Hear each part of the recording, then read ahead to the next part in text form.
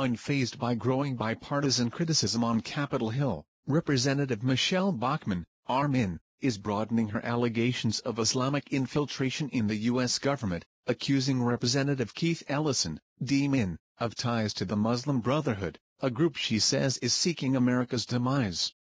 He has a long record of being associated with the Council on American Islamic Relations, and with the Muslim Brotherhood, Bachmann told conservative radio and TV show host Glenn Beck on Thursday night. Ellison, a Muslim whose congressional district borders Bachmann's, said Friday that he saw Bachmann's remarks less as a personal attack than as a broadside against Muslims in public life. Earlier in the week Ellison, was among the first to criticize Bachmann for her allegations against Huma Abedin, a top aide to Secretary of State Hillary Rodham Clinton, a critique later